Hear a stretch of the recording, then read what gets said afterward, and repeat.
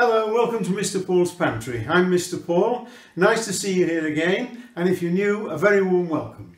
Now today's recipe is for a soup. I like soups. Winter or summer I like soups. They're very easy to make but not always as tasty as I would like them. And this one is a very, very tasty soup, very rich and very, very intensive flavour. It's a mushroom soup, but using two different kinds of mushrooms. You can use whatever you want, but I'm using a white mushroom, a white cap, and a portobello, brown cap mushroom. So let's get on with it.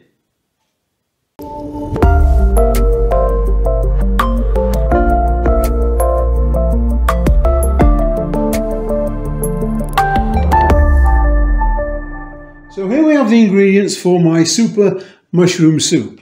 Uh, first of all, I've got 30 grams of unsalted butter.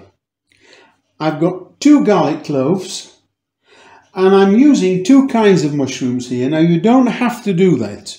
I'm using white mushrooms, ordinary white cap mushrooms, and I'm using some portobello mushrooms. You can use brown caps or anything like that. The reason I'm using the brown cap mushrooms is because it gives a nicer colour, I think, a nicer depth of colour to the finished soup. And it also enhances the flavour. But if you're one of those people who like a nice pale white, sickly looking mushroom soup, use all white ones. okay, so for the white ones, I've got 400 grams for the portobello mushrooms, I've got about 200 grams, but you can mix and match that, it doesn't matter. I've got 800 mils or grams, because I've weighed it as well, of vegetable stock. Now you can use fresh vegetable stock, you can use a bought carton, or you can use a made up stock cube. You can use chicken stock if you don't mind adding some meat to the recipe, but this is totally vegetarian if you want to uh, just use the um, vegetable stock. I've got 800 grams of that. I'm only going to use a small amount of salt depending on what or, how salty your stock is. If you've bought stock or made it yourself, um, you need to check and see how salty it is because some of the purchased ones, especially stock cubes, they can be quite salty. So I'm going to use, uh, I'm using a stock cube here today, which will be salty. So I'm only going to use a quarter of a teaspoon of salt and an eighth of a teaspoon of black pepper. Uh, and I've got one medium onion. And I'm also going to finish it off with, you can finish it off with some creme fraiche or ordinary cream, anything like that, just to give it a nice little bit of body.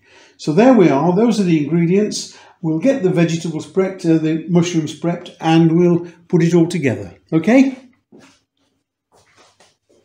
Now,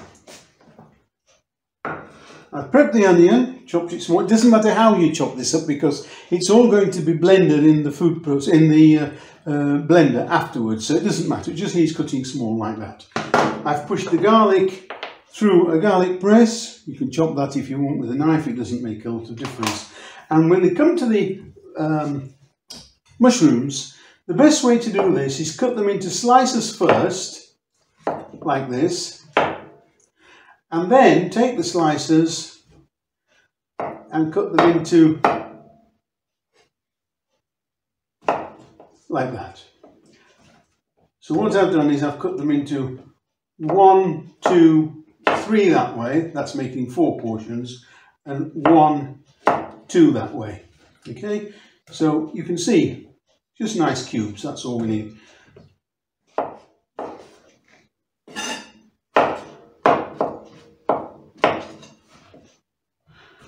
well that's just on the last lap now just one more to do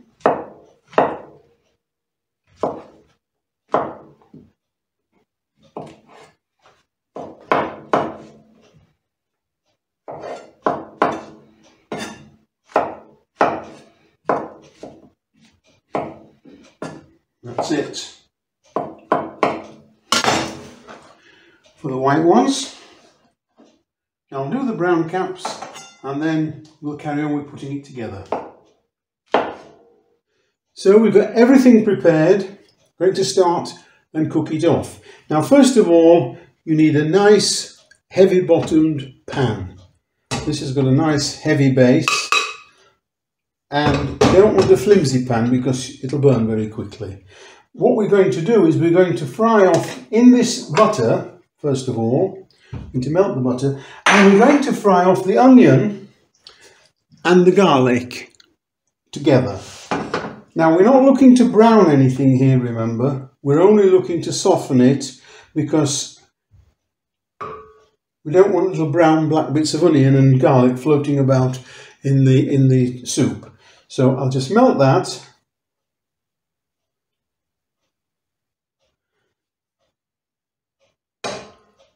And then we're going to pop in the onion first. and the garlic. Give it a good stir in the butter. Remember, we're not looking to brown any of this. That's important.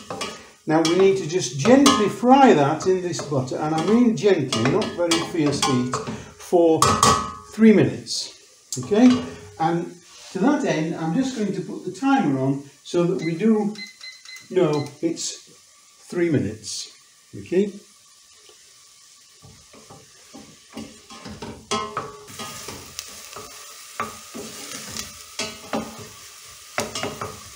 Just keeping it turned around so it's all softening evenly in the bottom.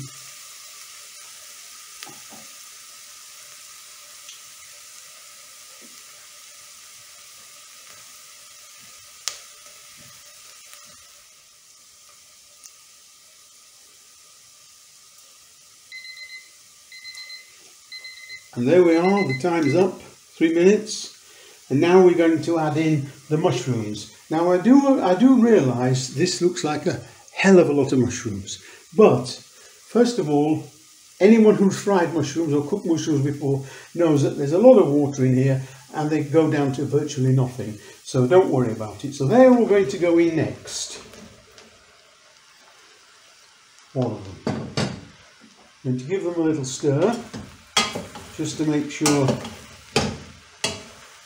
to mix them up with the onion and the garlic and they start to absorb some of the butter.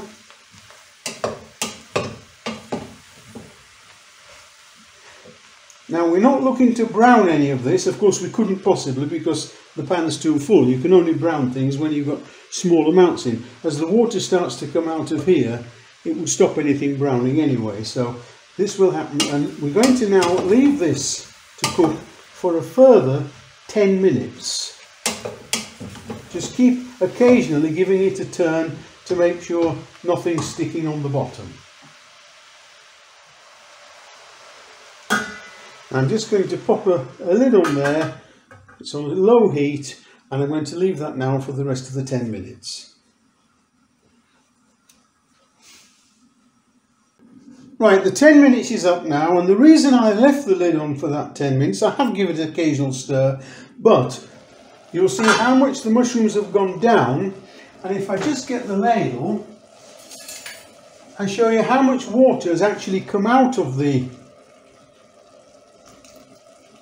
actually come out of the mushrooms. And I didn't want all that to evaporate whilst it was cooking because that's all the flavour that's coming out of the mushrooms the garlic and the ginger. So you can see the consistency of them now. What we're going to add now is the stock, 800 millilitres or grams, I've weighed mine, and the salt and the pepper. Now because my stock was a bought stock cube, was a little bit saltier than I normally like it, so I've only used a quarter of a teaspoon of salt in this. If it needs any more afterwards, I can adjust it, but I can't take it out. So that's the important thing. So we're going to leave that now. We're going to bring it to the boil, then turn it down to a simmer and leave that for a further 15 minutes. The pepper I used about an eighth of a teaspoon um, I like black pepper. I, I, like things a bit peppery. I didn't use a lot purposely because a lot of people don't like it. If again it's not to your taste, you can always add salt and pepper afterwards. Don't worry about that. So I'm going to bring that to the boil and then we're going to turn it down to a simmer and leave the lid off this time. Leave the lid off and we're going to leave it for 15 minutes.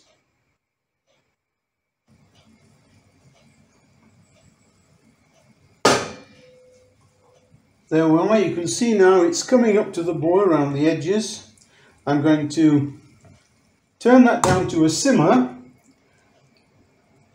and I'm going to put the uh, leave the lid off this time. I'm not putting the lid on. Turn it down to a simmer and leave it for 15 minutes. So we'll set the timer for 15 minutes and I'll see you when it's ready.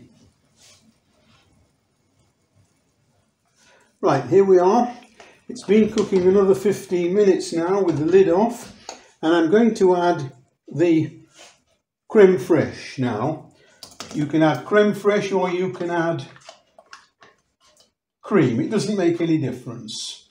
I like to add creme fraiche because I think with any kind of a savoury dish, if you add a little something acidic at the end of it, I think it gives you a very good extra kick with it. So you see people that squeeze lemon juice or lime juice into something and this creme fraiche has got a little acidic kick with it, little tartness, so I like to use that instead of cream. Now I've put that in there and I'm going to let that simmer now for another five minutes. So I'll just set the timer for five minutes and away we go. Now once this has simmered for five minutes we're going to allow it to cool a little and then we're going to put it in the blender. I'm going to blitz it till it's very very smooth. Um, I have tried doing this with a wand blender. It doesn't do it fine enough I'm afraid so I, I use my food um, this one, my, my blender. I use this. I think this is a lot better for um, for doing it than the stick blender. The stick blender is good for some things, but it doesn't go fine enough. Now it's just coming to the simmer again now, and we'll leave it for the rest of the five minutes.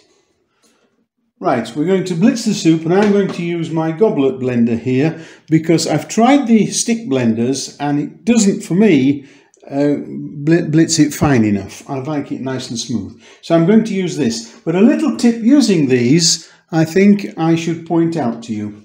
Here, me just move that. When you're doing hot things like this, it's always best to remove this part here at the top, if you can. Let's just turn it there. Because when you put hot liquids into a blender, it can explode and push the lid off. What I do is I take the top off like that and then I fold a clean tea towel and put it over there and then it doesn't uh, cause any pressure inside, okay? So that's what I'm going to do.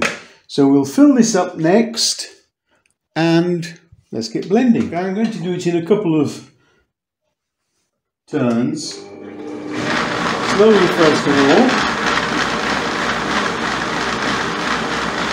And then turn the speed up.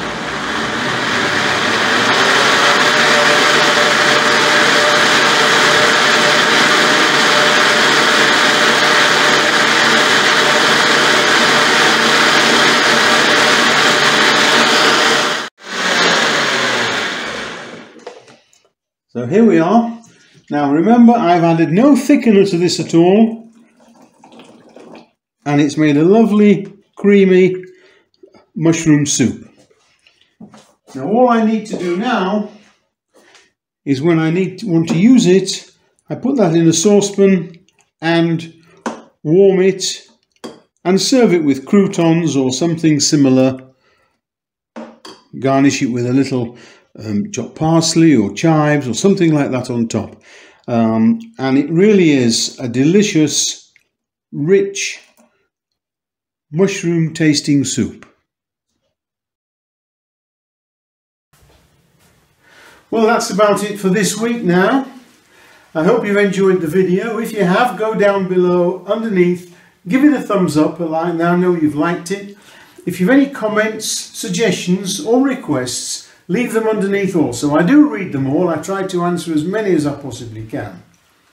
So, this is Mr. Paul saying bye for now and I'll see you next time. Bye!